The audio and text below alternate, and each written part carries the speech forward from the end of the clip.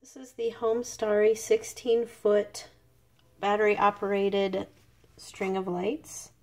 Comes with a remote. The remote already has a battery in it. You just have to remove the little piece of plastic to activate it. You do need to add your own batteries to this battery pack. It takes three AA batteries.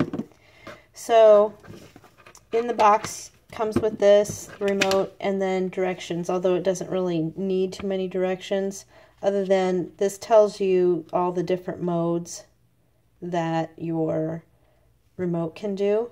But if you lose your remote, all is not lost because you can still go through all the modes just using this one little button. But it's also nice that you can change the mode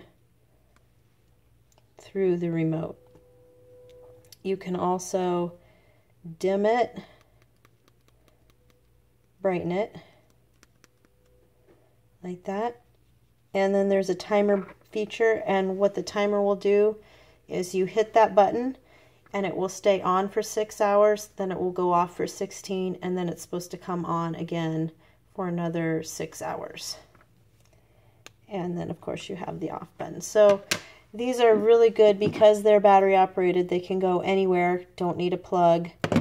16 feet is enough to do a really, really nice table decoration or a really small window or anything that you can really think of.